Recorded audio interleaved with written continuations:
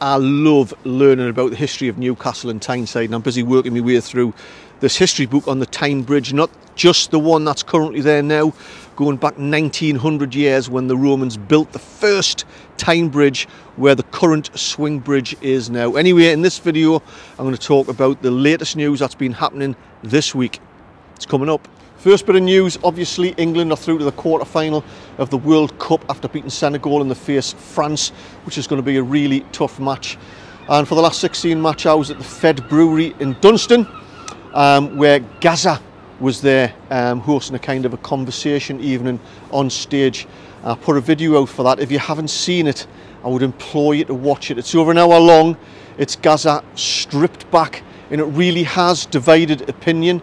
Um, whether you think he's a, an absolute legend and he could murder a kid and you wouldn't be bothered, or you think he's an absolute embarrassment, or if you're somewhere a little bit more sympathetic and kind of worry about him because of his alcoholism and mental health issues, wherever you stand on that, um, it certainly does divide opinion. I, I, would, I, would, kind of encourage you to watch the whole video.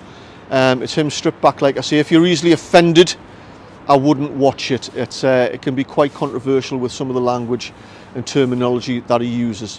Where am I going to watch the France match? Well, you're just going to have to wait and see. I've tried the big venues, the big fan zones, they're great.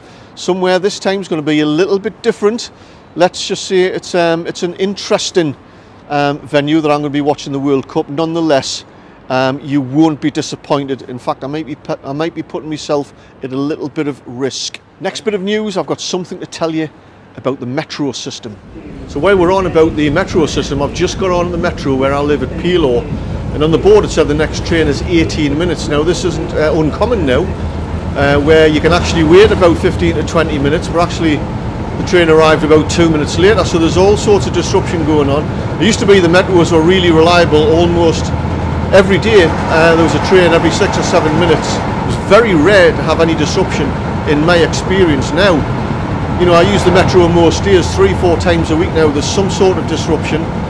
Um, there's now, even though the metros have opened up between Pelaw and South Shields, shut down again for some sort of technical issues that they're having to get on top of. If anybody out there can tell me what's going on with the Tyne and Wear metro system, why it's becoming really unreliable, um, I'd appreciate it. Just uh, leave your comments Talking about the metro system, local government have put a 745 million pound bid into central government to extend the and Wear metro system to take in Washington and to build three new stations. It's all part of a, a huge regeneration programme for our local rail and metro transport infrastructure. I'll keep you updated as to how that goes. Now, of course, winter is finally here, and for some people, especially this year, they're going to really struggle to keep warm and just to get by. Um, so, local councils in this whole region have set up what they call winter well-being centres. Get a, a hot brew, um, charge up your gadgets, uh, use the toilets, use the Wi-Fi, just generally somewhere to hang around, uh, just to keep warm.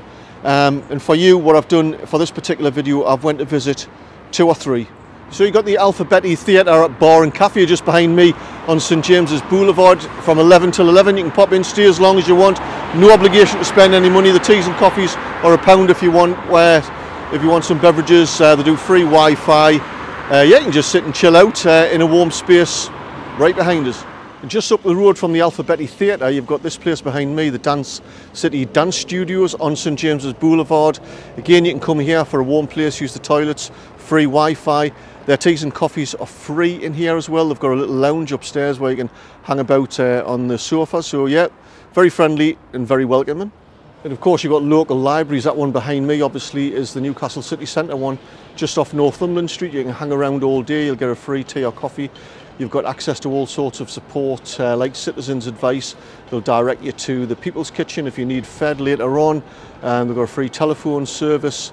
Um, yeah, and apparently there's some books in there that you can flick through as well. So yeah, you can hang around there all day. So there you go, there's three just in the NE1 area, but you've also got the Discovery Museum, you've got the Seven Stories bookshop, but also you've got St Vincent's near Ouseburn as well, plus one or two others.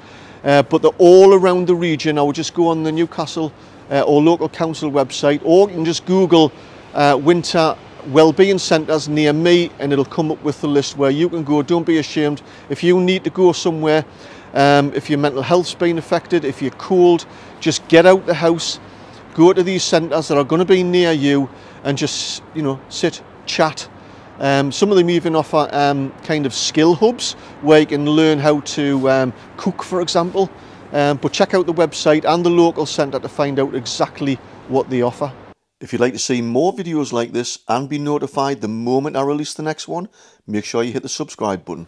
Now, of course, um, we've just got two birthdays as well. Today, it's Newcastle United's 130th birthday. Happy birthday, Newcastle United. But also as well, it's the 1900th anniversary of when the Romans first come and started to build a wall and when they built um, the bridge on the town called Pons Aelius. But yeah, back to Newcastle United, 130th birthday, and uh, they're currently, uh, as you probably know, in uh, Saudi Arabia and Riyadh for their training camp whilst the World Cup is going on. And uh, recently, two or three nights ago, they had a fan event at, a, at the Hyatt Regency, I think it is, where they had about 90 to 100 fans, um, individuals who have travelled from the UK, but also local fan groups from expats who live in that particular area, but also uh, fan groups from Kuwait and Oman and Dubai as well.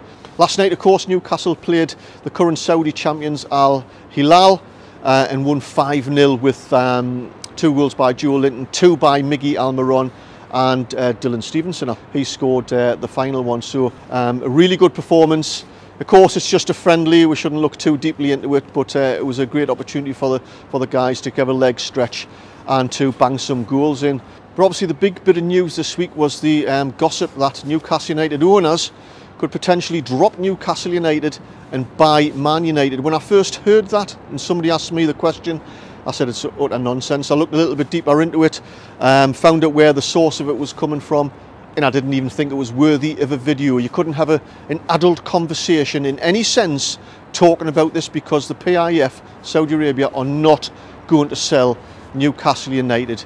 There's just no credence in, in it whatsoever. It comes on the back of um, an interview that the Saudi Sports Minister Prince Abdulaziz bin Turki Al Faisal, uh, when he kind of uh, opened the suggestion that a private Saudi Arabian company could buy a Premier League club, which is entirely feasible.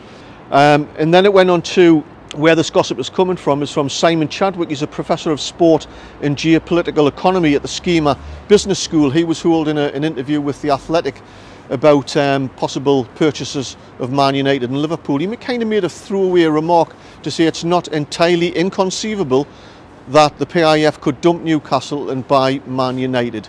I'll put it another way, it's not impossible for Newcastle not to pick up another point and then get relegated this season. Nonsense, isn't it? Not even worthy of a conversation. Well, that's exactly what this is. It isn't even worthy of a conversation. It's not going to happen. Simon Chadwick has no connection with Newcastle United. He has no connection with Saudi Arabia and the PIF. It was an off-the-cuff comment in an interview and shouldn't hold any water or credibility with anybody tempted to try and generate some interest in this particular conversation. It's utter, utter nonsense. Well, that's it for this video. I hope you enjoyed it. Uh, give us a thumbs up if you did. Don't forget, if you want to see me stripped back given my opinions on various meaty topics, uh, just consider becoming a, a channel, uh, joining my channel membership scheme. Anyway, don't forget to subscribe, leave your comments below um, if you want me to cover anything else. And until next time, catch you later.